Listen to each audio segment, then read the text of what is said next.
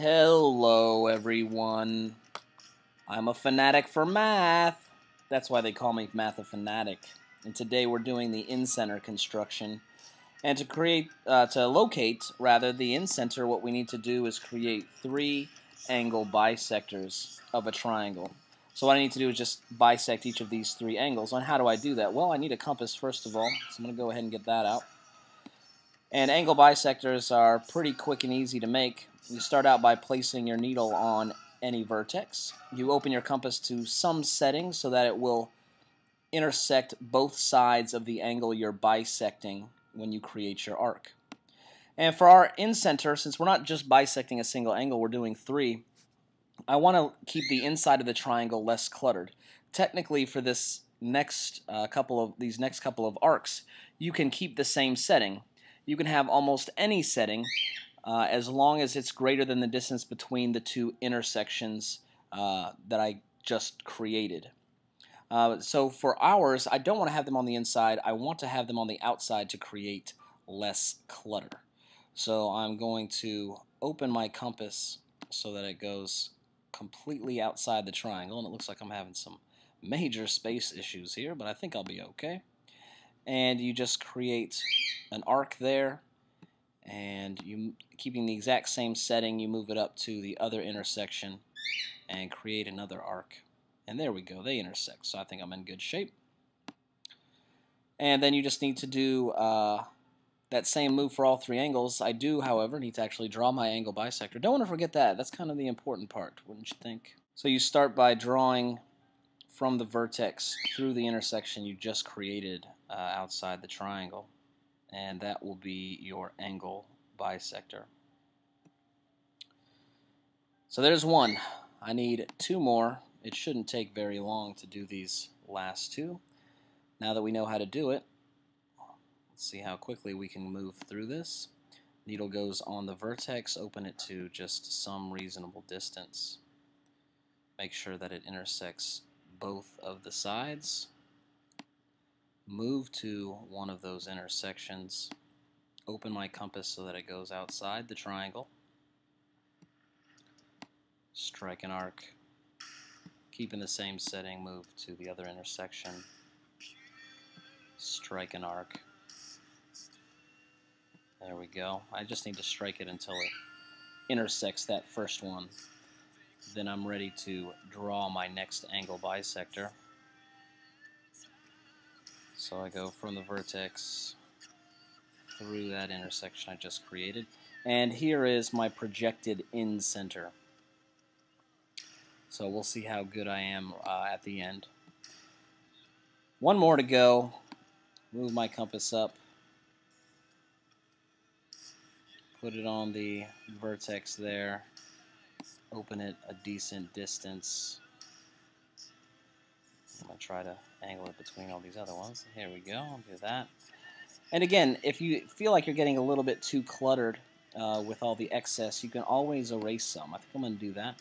Do a little spring cleaning. Just do a little spring cleaning. I don't need all this over here. It just seems like it's a little overkill, so I'm just going to get rid of these extra arcs that I didn't necessarily use.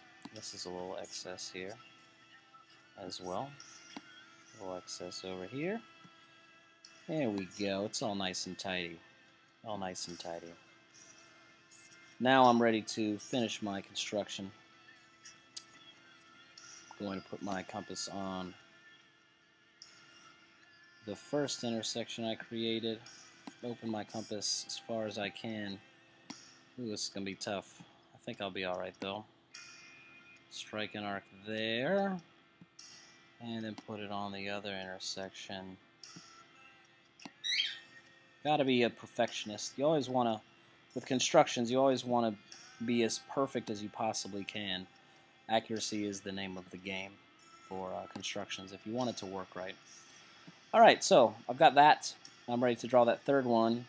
Keep your fingers crossed. I think I did okay. I think it'll be okay. Computer software makes it a little difficult to tell sometimes, but I think I'll be alright. Here we go. Here we go. Right through the intersection there. And it looks like I've got a little bit of issue. A little bit of issue. And so sometimes that happens. You'll just get this uh, space in between. And when you get that space, you want to troubleshoot your, you want to look at everything that you did and see if there are any that don't look like you bisected them. Like, for instance, this first one I did, it looks like this top angle is a little bit smaller than the bottom one. So maybe I should have positioned that one a little bit better. Say something like that, for instance. I'm still going through the intersection over here, so I should be okay. Um, up here, I don't know if I went exactly through that intersection, so I'm going to see if I can get closer. We'll do something like that. And here, you can see up in my top right that I'm a little bit off with that, so I'm going to try to reposition this. And of course, you can't uh, drag and drop your um, your angle bisectors, but you can always erase and redraw. And that sort of changed my position down here, so I think I'm going to redo that one. So I try to clean it up a little bit. Um, sometimes it's a little bit hard with this software to get things just right, uh, but I close the gap just a tad, uh, and I'm doing all right. So what an incenter is, uh, is the center of the circle that can be inscribed in a circle.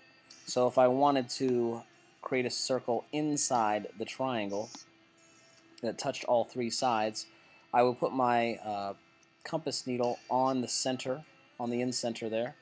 And the tricky part is that you need to get, um, you want, need to put the pencil on one of the three sides, but it has to be the shortest distance to that side. In other words, it would have to be, if I drew a line from the needle to the pencil, that line would be perpendicular to the side. And uh, if you really want to be meticulous about it, you're going to have to do the whole football construction and bisect uh, draw a perpendicular bisector on that. But uh, I usually just eyeball it and see see how it goes. So this time I'm going to eyeball it and see if I'm close. And usually this doesn't work out well for me at all, but I'm going to give it a shot. Yeah. See, it didn't work out the greatest, but that's okay. That's okay, you know. Nobody's perfect. It's a little tough. Clearly I went way out over here. The bottom two are okay, but not so much over there. But I'm okay with that. I think I'll survive. So that's an in-center. If you have any questions or comments, please feel free to leave them below. I hope this was helpful for you. Until next time, YouTubers.